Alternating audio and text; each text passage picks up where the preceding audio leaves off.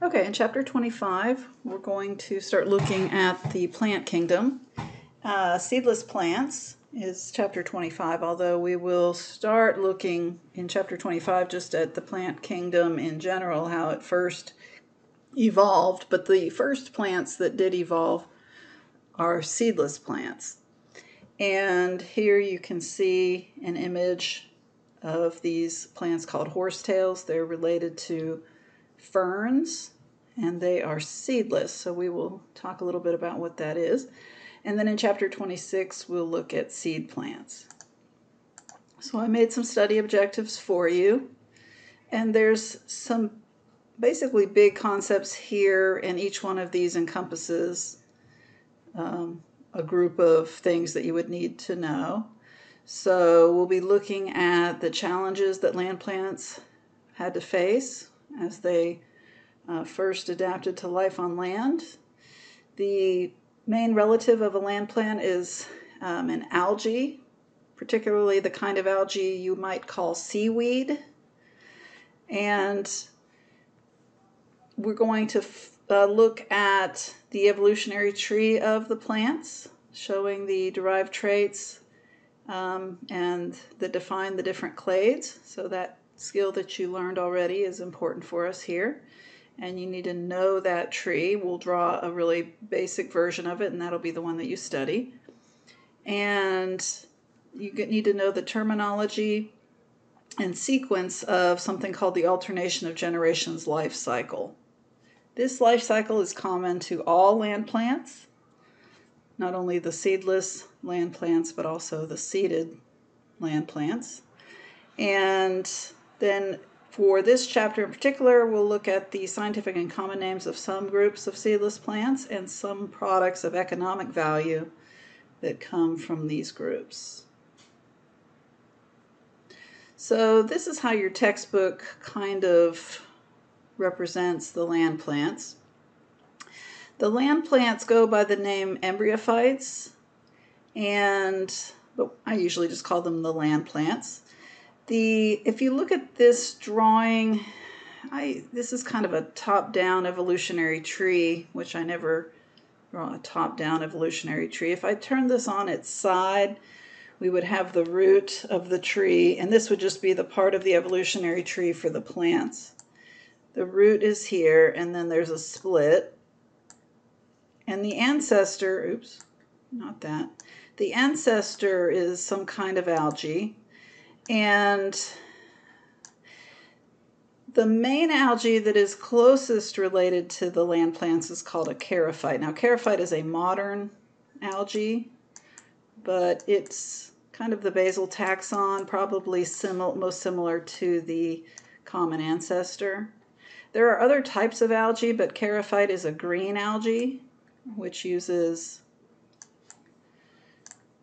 chlorophyll as its pigment, one of its main pigments. There are other types of algae. There are brown algae, which are present. I'll put another branch up here. Brown algae, there's red algae, but those are not as closely related to the land plants. So brown and red algae are also algae, and they have different kinds of pigments.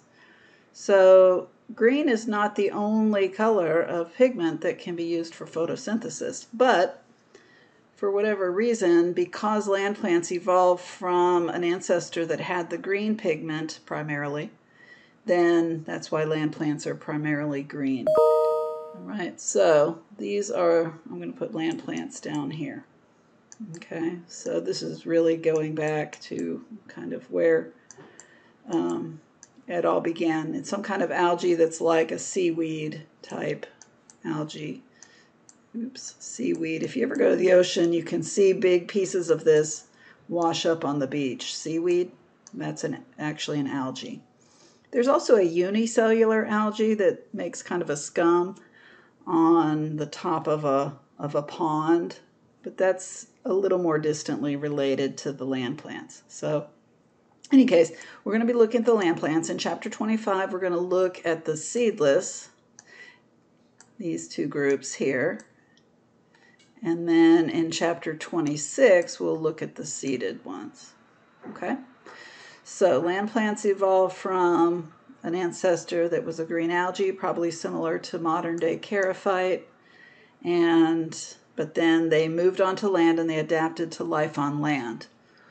The problem with living on land is water. That's going to be true in the animal kingdom as well. Life evolved in the ocean first. So all organisms evolved first in the ocean, or at least our ancestors evolved in the ocean. And so there's a different issue with water if you live in the ocean versus if you live on land. Of course, the ocean is made of salt water, so there is some issue there, but when you're on land, there's just not enough water. That's always going to be the issue. So, any adaptation to terrestrial life is going to need to involve any structures that protect the organism from desiccation. So, memorize that word. That just means drying out. Um, structures that help the organism move water around. So we call that vascular tissue, and vessels are inside of plants. They have vessels, just like you have vessels that move your liquids around inside of your body. Plants have vessels. And so these kinds of things are very um, important to life on land because life on land is dry. So getting water, keeping it, moving it around these are very important adaptations. The other adaptation that's important to land plants is what we call dispersal, or the, one of the problems, I should say, with life on land is dispersal. And dispersal means spreading your offspring out, spreading out your offspring so that they don't compete with you for resources. Spreading out your offspring. Because if a plant has offspring but they grow right next to the parent plant, then pretty soon you're competing with your own offspring for light and water and nutrients from the soil. So dispersal will be favored in any situation. But in water, if you're in the ocean, dispersal is not such an issue because there's currents and the, the organisms can move away from each other just by floating in the water. And but on land, it, it's a little more difficult um, to disperse your offspring. So we're going to see some adaptations for dispersal of offspring. And part of that adaptation for dispersal comes with this life cycle. It's called the alternation of generations life cycle. All land plants have the alternation of generations life cycle. Okay? So, all organisms that live on land, and plants uh, in this chapter, have some adaptations that help with desiccation. All of the land plants have the alternation of generations life cycle. And most of the plants have vascular tissue. So that one's just a most, not all. So this is all, this is all, this is most. Okay? The plants that have vascular tissue are called vascular plants. So that will be a clade. The vascular plants will be a clade. The types of vascular tissue, I don't know if you've learned this in another course, maybe in high school, but here I'm just telling you there's two types of vascular tissue. One's called xylem and one's called phloem. Xylem is made up of cells called tracheids, and they are actually dead cells that connect together and create kind of a hollow tube that moves water through the plant. And it's a very thin tube so that capillary action can move the water up from the ground up into, if the plant is tall, it can move all the way up. Phloem is made up of live cells that move glucose just simply by diffusion. So water will move by capillary action, and um, there's a vacuum when, when water evaporates from a leaf, it creates a little bit of a vacuum that draws more water up the vessels. And then phloem moves glucose through living cells uh, the phloem are composed of living cells, and glucose moves through the plant by diffusion. So these vascular tissues are only found in vascular plants, but a huge amount of plants are vascular. Now, what about this alternation of generations thing? When I took 1407 biology, my professor showed us a picture not unlike this picture, which was completely meaningless, and simply pointed to the different terms and then basically told us to read the book and then moved on to the next slide. And it was completely useless. I had no idea what this was. So, what I've done is I've created what I call a script. And a script means you can repeat this over and over as you're looking at this picture or a similar picture and try to visualize what each of these things actually means and what's actually happening for a plant as it goes through its life cycle. The life cycle of a plant is not the same as the life cycle of an animal. So if you thought they were the same, then I'm going to teach you something new. The life cycle of a plant, part of the life cycle is made of a multicellular organism, multicellular diploid organism. 2N is short for diploid. And that plant is called the sporophyte. P H Y T E means plant, like an entire organism. Okay? But in the life cycle of a plant, there's also a multicellular plant that's haploid. And that plant is called the gametophyte. This is the thing that there is no equivalent in the animal life cycle. We don't have, um, for the most part, uh, well, there are a few exceptions to this, but for most animals, there is no multicellular haploid organism. And so plants have two parts of their life cycle, two fully grown plants, two plants that one of them is made up of many diploid cells, and then there's a different one that's made up of many haploid cells.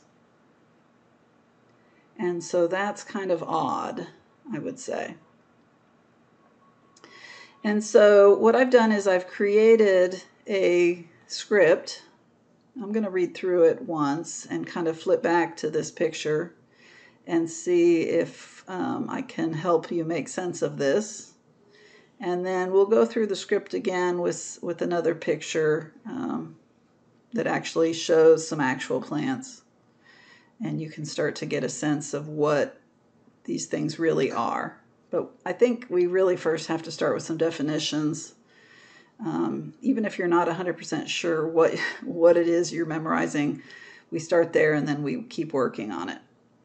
So this is the script. Oops. I usually start, since it's a life cycle, you can start anywhere, but I usually start at the diploid stage.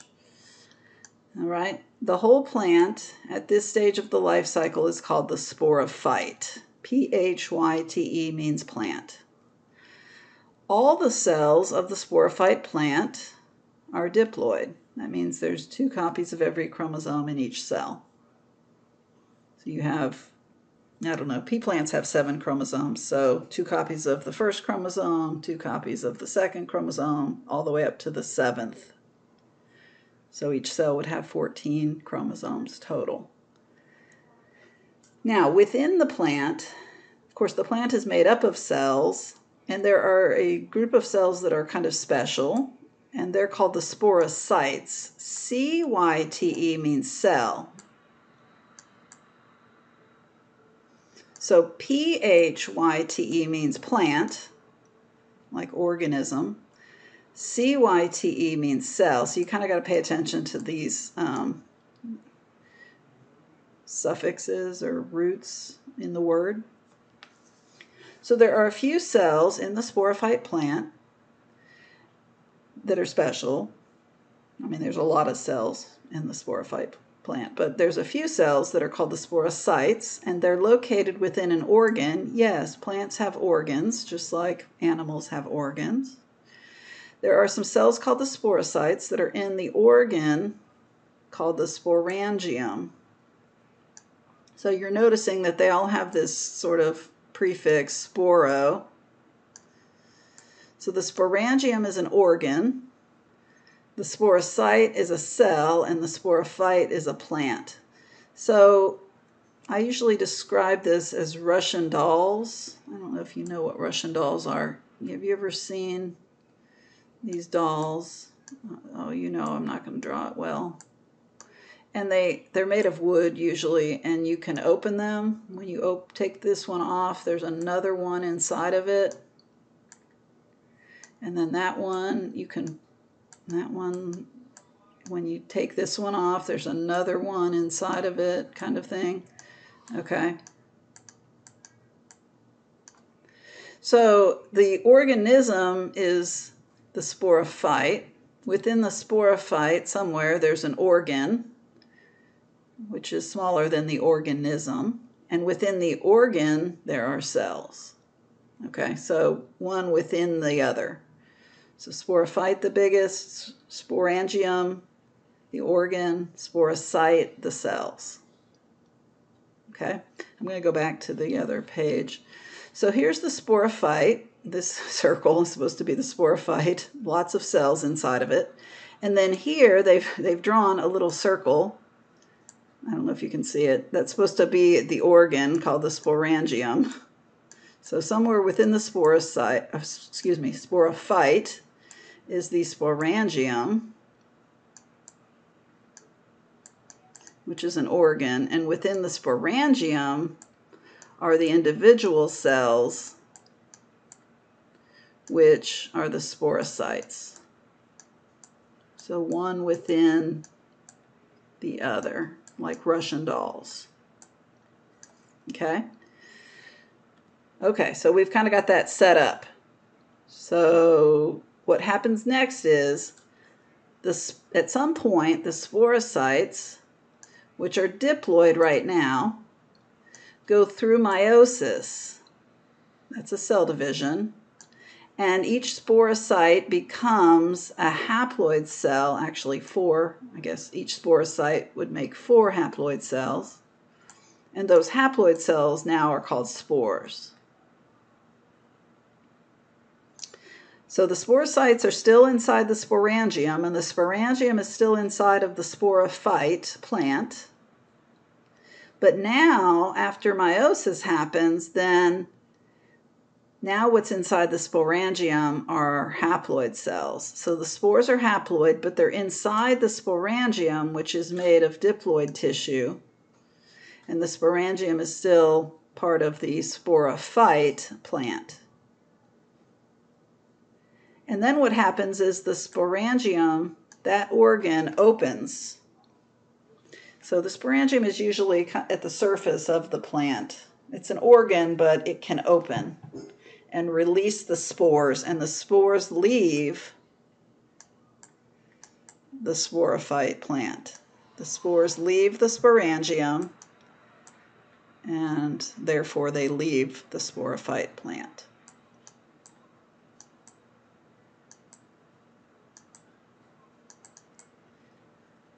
Okay. So then what happens to the spores? Each spore, it starts here really, the spore is released from the sporangium. So this is a continuation of the last slide. Hopefully, if all goes well, it lands somewhere. I wrote moist soil. That would be a good a good outcome. If it lands on moist soil or water or something, it can grow, it can germinate. And it divides, that means it divides by mitosis, and mitosis makes clones. So one haploid cell can become a whole bunch of haploid cells because mitosis makes cells that are identical. And then you have an entire plant eventually, and that plant, which grew just from one spore, is called the gametophyte. So the haploid plant that grows from a spore is called a gametophyte. And the gametophyte is the plant. And inside the gametophyte, there's an organ called the gametangium. And inside the organ, there are cells. And so the gametophyte plant contains an organ called the gametangium, and the gametangium contains cells. And I don't know why we don't I don't they're not really called gametocytes, although that's kind of what they would be called, I think. But those cells inside the gametotangium will go through a mitosis now, what we call the special mitosis, and they create the gametes. So even though all the cells in the gametophyte are haploid, only the cells inside the gametangium can form the gametes. And the gametes are the ones that are able to fuse to make the next organism. That's called fertilization. So, if the gametes that are formed are sperm, they will actually leave their organ. So we call it the male gametangium. If the um, cells, if the gametes that are formed are female, they're eggs, then they stay inside the female gametangium. So here there's a little bit of a difference. The sperm will leave the male gametangium. The eggs will stay inside the female gametangium. So that means you have two different organs. You have a male gametangium, a male organ where male gametes form, and you have a female organ where the female gametes form. So sperm and eggs. We still use the words sperm and eggs. And when a sperm meets with an egg, they fuse, and that's called fertilization. So, fertilization is where the two cells fuse. Fertilization is the opposite, conceptually, the opposite of a cell division. Fertilization is where two cells fuse together, not one cell splitting into two.